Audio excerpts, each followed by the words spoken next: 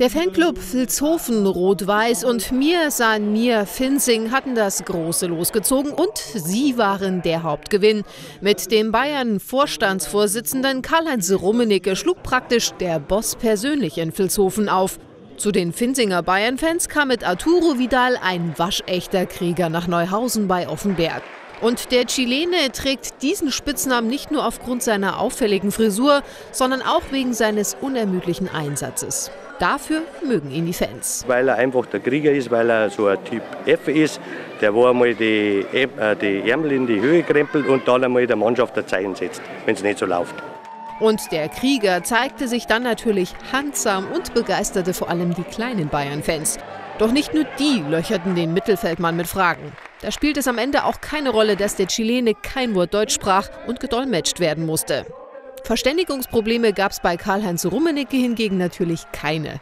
Das FC Bayern Urgestein gab sich im Wolferstädter Keller volksnah und redselig und verriet prompt seine Meinung zum viel spekulierten möglichen Sportdirektorposten von Philipp Lahm. Ich finde auch, dass er seine Geschichte als Kapitän sehr, sehr gut macht und ich würde sagen, er ist heute mehr als nur der Spieler des FC Bayern.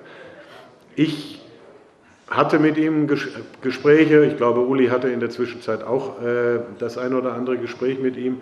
Wir trauen ihm zu, dass er eine solche Rolle ausfüllt. Wir haben ja im Moment da eine Vakanz, weil nachdem der Matthias Sammer im letzten Sommer aufgehört hat, nicht nur da gab es großen Applaus von den Fans. Auch als er versicherte, dass Thomas Müller seiner Einschätzung nach wohl auf ewig bei den Bayern bleibe. Oder als Rummenigge über die Zeit erzählte, wie sein Wechsel anno 1984 zu Inter Mailand den Verein sanierte. Für den noch jungen Vilshofener Fanclub war der Besuch auf alle Fälle ein Highlight. Ja, das ist natürlich absoluter Wahnsinn für uns. Ähm, wir haben uns jetzt einfach mal das erste Mal beworben. Unseren Verein gibt es erst seit dreieinhalb Jahren. Und dass es gleich funktioniert, mit dem haben wir nie gerechnet. Und dass jetzt noch der Vorstandsvorsitzende, der Herr Rummenigge, kommt, das ist natürlich absolut überwältigend. Auch die Finsinger dürften diesen Tag mit Arturo Vidal so schnell wohl nicht vergessen. Und obwohl ein erneuter Besuch eines Stars für die nächste Zeit eher unwahrscheinlich sein dürfte, hatte man dann doch noch so einige Wünsche. Ich war Manuel Neuer gern gesehen, einen Roten.